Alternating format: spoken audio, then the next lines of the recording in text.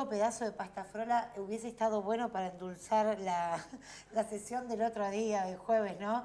Tema de rendición de cuentas siempre es álgido, ¿no? O sea, el, ese tema en particular y presupuesto más o menos van de la mano. Bueno, contarnos un poquito eh, qué, se vivió en, en la jornada del jueves. Bien, como bien vos decís, el jueves pasado tuvimos el tratamiento de lo que es la rendición de cuentas, eso se hace todos los años en el mes de mayo, donde se evalúan los gastos, digamos, del, que lleva adelante el Departamento Ejecutivo en la gestión anterior, es decir, del ejercicio 2022.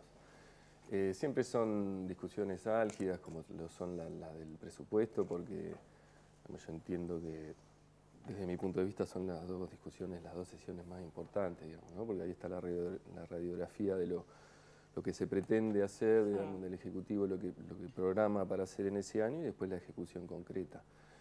Eh, nosotros marcamos diferencias, eh, ya lo habíamos marcado en el presupuesto, nosotros recordar que ese presupuesto 2022 nosotros habíamos intentado, a diferencia de otros años, eh, tratar de, lograr un entendimiento con, el oficialismo, de tratar de, trabajar para poder acompañarlo con una serie de, modificaciones muy pequeñas. Nosotros solamente pretendíamos modificar el 1,8% de todo el presupuesto para destinar más fondos a lo que tenía que ver con vivienda, con agroecología, con seguridad rural, eh, con becas estudiantiles y con infraestructura, con lo que tiene que ver con agua, con la llegada de agua a los barrios. Bueno, eso no lo pudimos hacer en el año 2022, entonces nosotros no habíamos acompañado ese presupuesto. Era un presupuesto de 8 mil millones de pesos, yo en su momento había, había expresado que hay una habitualidad que tiene el, Ejecutivo local, que es eh, subpresupuestar los ingresos es algo sistemático, nosotros decimos que es sistemático. Em, definí qué, es quiere decir? Claro, exactamente para el común de los mortales. Que ellos eh, estiman ingresos por un X valor y que en realidad no son tales que después son superiores, ¿no? Yo marcaba en ese momento que seguramente íbamos a tener un presupuesto que no iba a ser de 8 mil millones, que iba a ser de 10 mil millones, ¿no? Perdón, Darío, paréntesis, ¿eso no pasa en todos los presupuestos? Provinciales, nacionales. Sí, a veces sí, a veces no, en mayor o menor medida. Hay veces que tiene que ver con procesos inflacionarios porque hay tasas que están, tasas o impuestos, por ejemplo, el IVA, al estar porcentaje eh, en un, claro, en el 21% de lo que vos consumís, y el 100% de inflación, es lógico que tenga 100%. ¿no? Nosotros de las tasas tenemos una sola de las tasas que está atada a la cuestión de ingresos de los que tienen, los que trabajan en Tandil, los que generan, digamos, este, ya sea el comercio, la industria, cualquier persona que trabaja, que es la tasa de actividad económica. Todas las demás tasas son fijas, ¿no? Entonces no debería sufrir grandes este, variaciones. La modificación no tendría que ser tan abrupta. Exactamente. Pero nosotros lo que vemos es que es una cuestión sistemática que se, utiliza esa forma, digamos, para después tener mayor margen de maniobrabilidad. Si vos tenés en cuenta que el 70% de los fondos que ingresan al municipio son de libre disponibilidad, quiere decir que, que no tienen un fondo específico como puede ser que yo, el, fondo de ayuda solidaria que pagamos con la boleta de luz, que es para una cuestión específica. El 70% de, los fondos del municipio son de libre disponibilidad, quiere decir que pueden ser destinados... Se pueden ubicar en, lo, que, la gestión considere. Exactamente. Entonces nosotros cuando vemos que es algo sistemático, nosotros decimos, bueno, hay que sincerarlo eso, no está mal, digamos, per se, digamos, pero hay que sincerarlo. ¿Por qué? Porque si vos le estás diciendo a la gente que te van a aumentar eh, las tasas 50% para tener un presupuesto de 8 mil millones para hacer tal cosa y en realidad después vos en realidad lo que tenés es un presupuesto de 10 mil, que no tuvimos uno de 10 mil, tuvimos uno de casi 11 mil millones de pesos, que es una variación muy importante. Eh, entonces me parece que ahí lo que hay que hacer es sincerarle a la población y decir, mira, yo te voy a aumentar las tasas un 50% y voy a tener un presupuesto de 11 mil millones y voy a hacer tal cosa y no decir, no, nosotros vamos, tenemos que aumentar más porque no nos va a alcanzar y después a, la final en realidad te alcanzaba con mucho menos, ¿no? Claro, porque... a ver, eso se discute en el momento que se discute el presupuesto. El presupuesto ya estaba discutido, aprobado y está ejecutado. De la ejecución, ¿qué es lo que se aprobó el otro día? ¿Cuál es justamente la postura que tienen ustedes? ¿Cuáles son los cuestionamientos básicos? Claro, primero es, es, eh, corroborar efectivamente que lo que planteamos iba a ser, iba a ser real. Eh, segundo, que eh, extrañamente hubo un superávit de casi 1.100 millones de pesos. ¿Y eso es por su ejecución o por qué? Por varias cuestiones. Primero porque, porque está subpresupuestado, entonces después podés hacer o no, digamos, con, lo que, con el margen que te queda después de maniobra. Después hay obras que no se realizan, este, eh, que se presupuestan y que no se realizan, y después sí, obviamente, hay mayores ingresos y obviamente hay una cuestión que yo había planteado el año pasado, de que estaban, estaban destinando mucho dinero a un plazo fijo, una cuestión financiera, que está bien, digamos, en términos de, cuando hay procesos inflacionarios, no está mal hacer eso, digamos, porque es una forma de resguardar, de resguardar los ingresos, que son los tributos que tenemos todos los tandilenses. Me quedó la duda, ¿cuánto me dijo que era la, el superávit? Más de mil millones de pesos. Más de mil millones de pesos. ¿Y el presupuesto? El presupuesto oficial era 8 mil y fue de 11 mil. Digamos que un 10% de superávit, es muchísimo. Es mucho, mucho dinero. Yo, si ustedes no sé si se acordarán, hacia fin de año cuando planteé la cuestión del plazo fijo, de que tenían 1.400 millones en un plazo fijo, la respuesta de parte del Ejecutivo, de la Secretaría de, Economía, fue que ese dinero se iba a utilizar para pagar sueldos y para pagar aguinaldos. Bueno, el 29 de diciembre ese plazo fijo deja de estar, desaparece, digamos, del sistema, nosotros no lo podemos ver, que fue un día antes de que se trate el presupuesto 2023, bueno, pagaron, mandaron a pagar los aguinaldos, no sé qué, pero resulta que el 3 de enero ya había 1.400 millones de vuelta en un plazo fijo, ¿no? Entonces, vuelvo a repetir, para preservar los ingresos, digamos, hoy los, plazos fijos dan grandes grandes intereses, más o menos eso te da 100 millones de pesos por mes, digamos, de intereses, eso hace que después también crezca el presupuesto, pero después cuando no se llevan adelante obras o cuando hay necesidades concretas para cubrir, para llevar adelante, este, si no se hacen teniendo plata en un plazo fijo, me parece que ahí es otra discusión, ¿no? Bueno, pero a ver, eh, digo, yo para ir por la positiva, digo, la plata está, Sí, digamos, la plata está. E, eso es lo positivo, por ahí hay obras que no se hicieron y, se deberán ¿no? justificar las causas. No sé si son licitaciones que han quedado desiertas y también, bueno, algún tema presupuestario, pero la tranquilidad es que la plata está para todos los candidatos. Sí, en ese sentido, digamos, nosotros no, no hacemos, no ponemos en tela de juicio eso, ni mucho menos. De hecho, es, se puede ver por el sistema, digamos, claro, por eso. que se esconde, digamos. Después se, argumentarán cuestiones que son más falaces o menos falaces, pero bueno, eso es otra discusión. La posibilidad de que la gestión sea demasiado buena administrando y que por eso se genera superávit, ¿esa la descarta? No sé, yo le preguntaría, no sé, a la gente que necesita vivienda, si es demasiado buena, eh, a la gente que necesita asfalto, a la gente que necesita agua, a la gente que necesita más seguridad, a la gente que necesita más médicos en el hospital, ah. eh, a las escuelas que tienen problemas y, por ahí no se utiliza la totalidad del Fondo de Financiamiento Educativo. Eh, yo preguntaría ahí, ah. digamos, si no hubiese falencias te diría que fuera muy buena. más seguridad, decís. Eh, Darío, a ver, el, presupuesto que tiene la Secretaría de Protección Ciudadana, vaya, ¿no? Si, si es de, de, gran porte. Ahí hay partidas subejecutadas, eh, ¿qué, es lo que pueden observar ahí particularmente, teniendo en cuenta que tiene un gran despliegue? Sí, cuando vos analizás... Después que si es efectivo o no es otra cosa. Sí, cuando vos analizás eh, esa ampliación del presupuesto, eso que está por encima de los 8 mil millones, decir, bueno, ¿en qué se gastó los 2 mil, no los 3 mil porque no se gastaron, pero 2 mil millones más? O es que hay crecimiento de ciertas secretarías y otras no, que no crecen, es decir, que quedan por debajo de la escala inflacionaria, es decir, que realidad ejecutan menos de lo que estaba presupuestado, en términos nominales no, pero en términos reales sí. Y después hay otras que tienen menos, eh, una ejecución menor aún.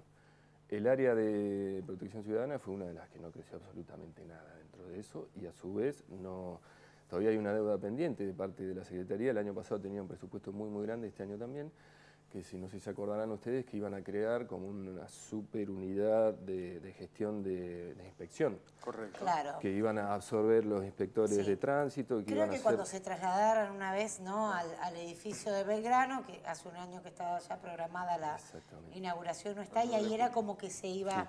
Estaba presupuestado, por eso digo que cuando a la gente le dicen, bueno, te vamos a aumentar tanto las tasas, es porque voy a hacer esto, ¿no? Estaba se aumentó tanto las mm. tasas, se presupuestó eso y no se hizo.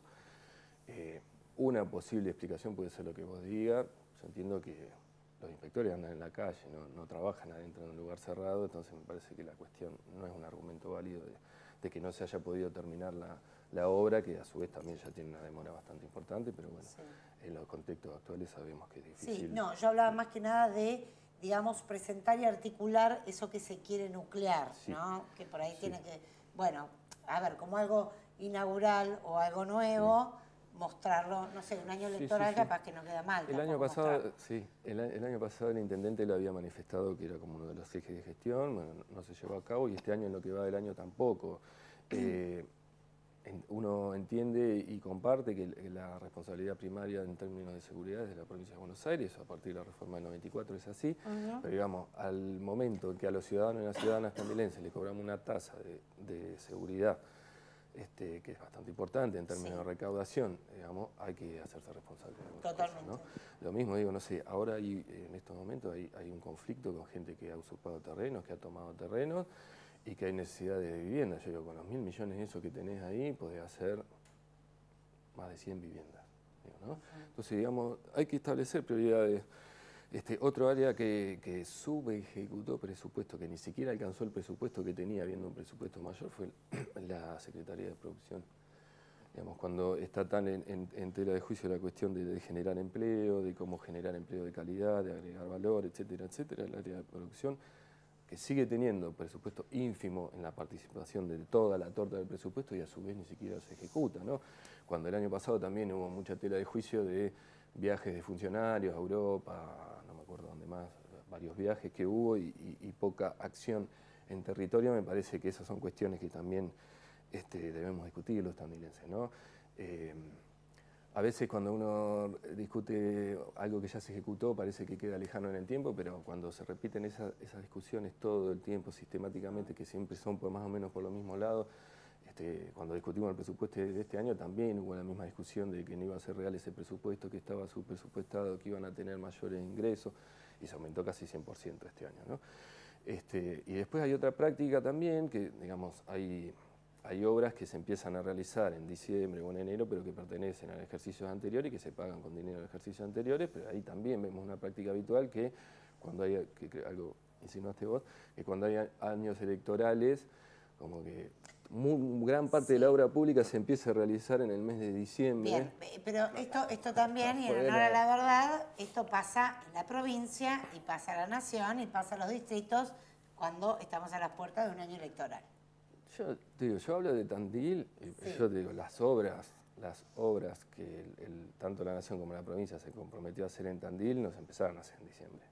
Eh, podemos hablar de, eso, la, cisterna de movedizas empezó hace bastante tiempo, eh, el, el, IPAD y el conservatorio se empezó hace mucho tiempo, las casas que lleva adelante el sindicato de municipales, la ONG Mujeres Sin Techo, Yo no hacía referencia a lo que inaugura nación o provincia en la localidad, sino que muchas veces los gobiernos provinciales o los gobiernos nacionales también, eh, digamos, utilizan esto de, pantalla y estamos acostumbrados a esto. claro, claro. Sí, yo lo que veo es acá en Tandil, que donde yo vivo, que acá todos los años electorales este, parece que fueron a Tandil un obrador y los años no electorales no se ve. Entonces yo a veces hago el chascarrillo de mm. decir, para, con esta gestión sería preferible que todos los años sean electorales para que haya toda una gran cantidad de obras. Igual te digo que lo tenemos a Rogelio Parraguirre inaugurando cada, obra, cada cosa que...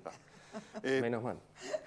las obras de, importancia, a mi parecer, las grandes obras de trascendencia, de importancia, me parece que han sido, en el último periodo de gobierno, han sido gestionadas por el diputado Parraguirre, aportándole a Tandil obras estratégicas y con proyección en el tiempo. digo, si vos me decís, bueno, este año del Bicentenario, eh, ¿qué es lo que le dejamos los tandilenses al Tandil del futuro? Y para mí el hito del Bicentenario, con todo respeto lo digo, que son este, muchas luces a la entrada de Tandil, que es muy lindo. Este, yo no creo que eso sea un hito del Bicentenario, yo creo que un hito del Bicentenario es un desarrollo como lo es este, la proyección de lo que va a ser Sanssouci, porque es prácticamente hacer la ciudad de Vela, el pueblo de Vela entero, acá en la ciudad de Tandil, no solamente viviendas, sino con un desarrollo y con una visión del Estado de anticiparse a mucha problemática, donde empieza a pensar, bueno, un trasplante poblacional de semejantes características qué problemática va a traer aparejado, ¿no? Y bueno, va a traer aparejado que van a necesitar educación, que van a necesitar salud, que van a necesitar que haya pozos de agua para poder abastecerlo, que van a necesitar este, plantas depuradoras cloacales para poder abastecerlo, etcétera, etcétera. Entonces me parece que cuando uno ve eh, en ese aspecto, digamos, este, cuáles son las obras trascendentales, me parece que ahí hay un gran aporte de parte de Rogelio. Bien. Eh, Darío, eh, tenemos que hacer una pausa, ¿no? Porque venimos este, algo atrasados, pero se queda en el próximo bloque. Vamos a hablar de la cuestión ya más más electoral, bueno, de cara a la propuesta, a la oferta que tiene el Frente de Todos aquí en Tandil.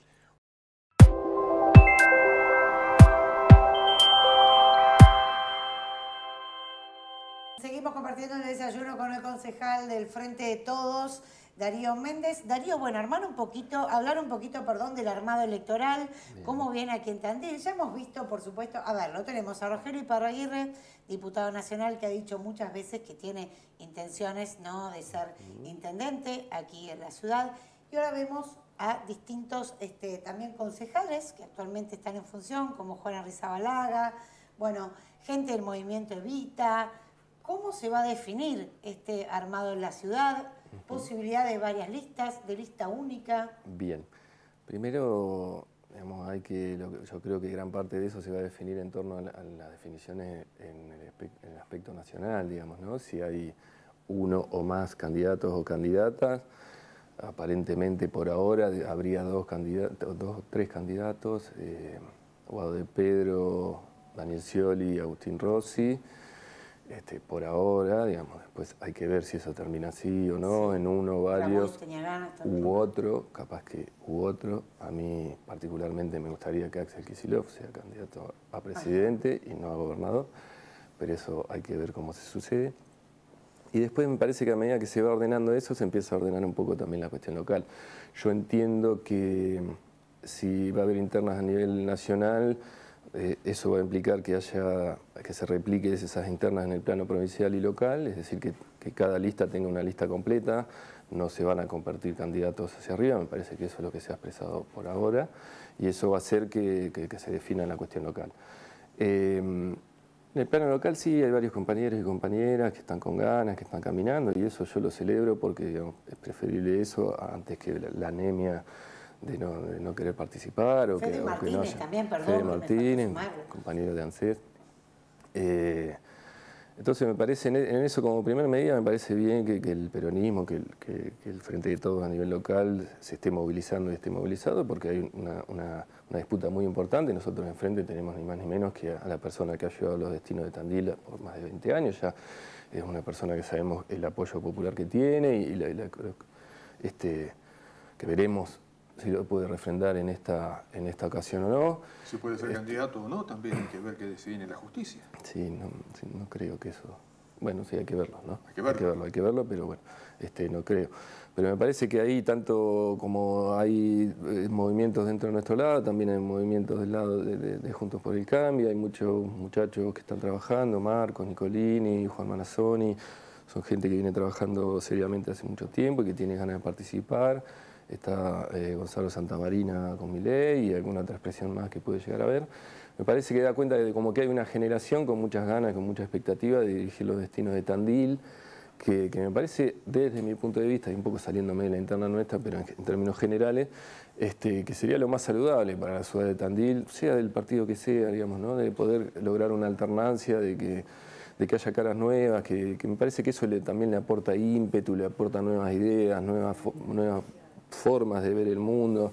Me parece que esa generación es la que va a poder construir el Tandil del futuro y no ya dejar de mirar un poquito para atrás y mirar un poco más para adelante. Pero en alguna de las últimas elecciones, hace dos o cuatro años, se planteaba como que, bueno, ir con una lista única, con todos los sectores juntos, de alguna manera era la fortaleza que tenía el Frente para la Victoria. Yo entiendo que desde, desde mi punto de vista lo mejor es tener una lista única donde podamos discutir, digamos, básicamente más que nombres y esas cuestiones, discutir qué es lo que queremos para Tandil, porque me parece, sobre todo en estos momentos, eh, me parece que la gente sería más sensato empezar a hablar un poco más de los problemas que tenemos y que hay que resolver y cómo los vamos a resolver, porque viste muchas veces se habla, no, el problema de la seguridad, sí, no, hay que acabar con la seguridad. Bueno, ¿cómo lo vas a hacer? Porque ya sabemos cuáles son los problemas, que hay que abordarlos, pero bueno, en el cómo. Me parece que hay que poner mucho más, desde mi punto de vista, vuelvo a repetir, énfasis, ganas y trabajo en eso, que en por ahí en posicionamiento personal y en disputas personales. Nosotros, yo lo he manifestado el otro día en una nota que salió en el diario de ustedes,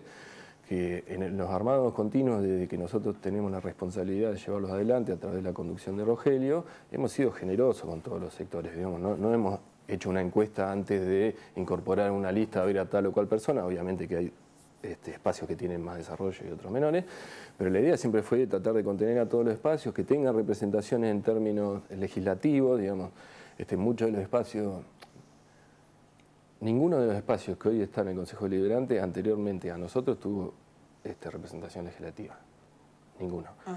Ni los muchachos de Patria Grande, ni los muchachos de Levita, ni los sindicatos hacía muchísimos años que lo que no tenían, ni la universidad, ni el campo este, habían tenido, con, anteriores hasta que nosotros hayamos conducido estos destinos, habían tenido representación. Entonces eso quiere decir que hay un reconocimiento de su trabajo, que hay una vocación de, tener amplitud, de contener a todos los espacios. Este, yo creo que eso también se debería ver desde todos los espacios para, para con Rogelio, para con nosotros. ¿Y la decisión última quién la tiene? No, la va a tener cada uno. Eh, digamos, si quiere eh, participar de un espacio colectivo o si quiere tener decisiones individuales. Lo que hay es que hay que armar una lista y los espacios son finitos, no son infinitos. Entonces, ahí me parece donde entran las tensiones a decir, bueno, bueno, si yo no entro, juego, si esto del otro, es legítimo también, es legítimo. Digamos, tampoco Por eso, acá se va la, democracia, nuevamente. Nosotros vamos a trabajar para tener una lista de unidad dentro del marco de lo que determine eh, el espacio, la nación, digamos. Si, si, si la nación se determina, que, que por lo que ha expresado por lo que se ha expresado, me parece que se va a buscar que haya dos candidatos máximo.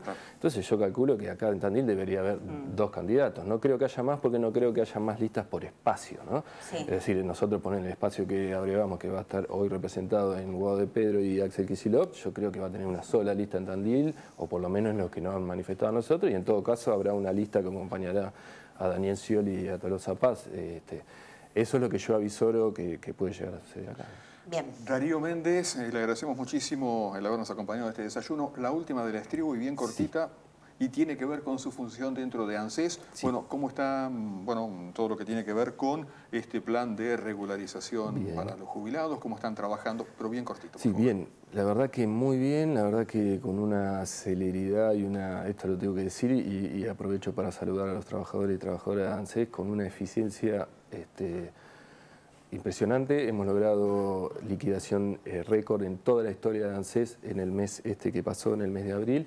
Van a estar cobrando, van a estar ya pudiendo cobrar en, este mes de junio las primeras 250 personas que se han jubilado a través del plan de moratoria previsional.